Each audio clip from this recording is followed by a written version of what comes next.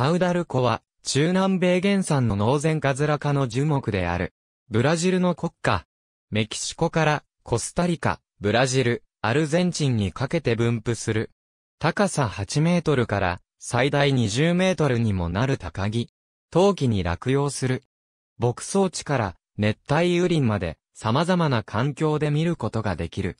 花木は冬季で12から14センチメートル程度の果樹の先に長さ5センチメートル程度の細い金状の花を玉上につける。褐色は紫だが、咲き始めは淡く、薄紫や桃色である。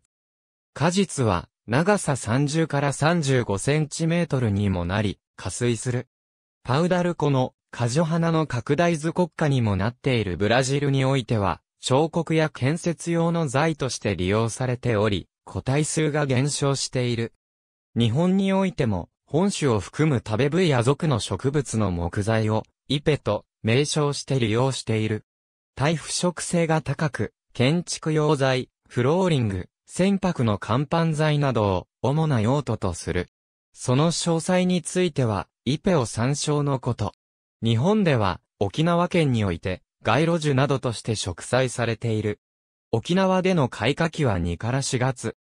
日当たりの良く、風当たりの弱い場所を好み、未生、挿し木、取り木なので増やす。沖縄で植栽が行われたのは、南米移民が沖縄に戻る際に、本種を持ち込んだのが起源と考えられている。パウダルコの樹皮を乾燥させた、ラパチョリオーブイは、樹皮の内側の層で、パウダルコは、ラパチョの原料として、昔からマラリア、貧血、大腸炎、呼吸器障害、風邪、咳、心筋感染症、熱、喘息、リウマチ等に利用されていた。南米では、パウダルコ競争、抗炎症、抗細菌、抗心筋、肝化、梅毒、消化器機能不全、癌、糖尿病、前立腺炎、便秘やアレルギーに効果があるとして、民間療法に使用されてきた。米国や欧州では、ハーブ治療としてパウダルコは、鎮痛薬、抗酸化、肝化、苦中薬、抗細菌、抗心筋、抗ウイルス、抗炎症として用いられている。またその間、下作用は、消化管に吸着している毒性物質を一緒に排除すると考えられている。また、発熱、梅毒、癌、呼吸器障害、主張、皮膚海洋形成、赤痢、消化器系不全、関節炎、前立腺炎、循環器系障害等には、内服、外用の両方で用いられている。他の分野では、ループス腎炎、糖尿病、消化性潰瘍、白血病、アレルギー、肝疾患等に使用したことが報告されている。すでに心筋症の治療に用いられていることはよく知られている。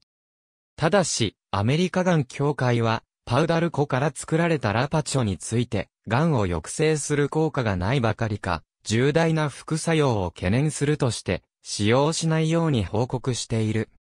日本の国立栄養研究所は、人での有効性について信頼できるデータがなく、過剰摂取では激しい吐き気、嘔吐、めまい、下痢、貧血、出血傾向、場合によっては重篤な悪影響を引き起こすとしている。また妊娠中、授乳中の経口使用も危険性が高いとしている。日本では、タヒボの名で健康飲料として焙煎用の乾燥品が販売されている。かつて1991年に JR 東海がタヒボベビーダの名で缶飲料として新幹線の駅構内で販売したが短期間で市場から姿を消した。ありがとうございます。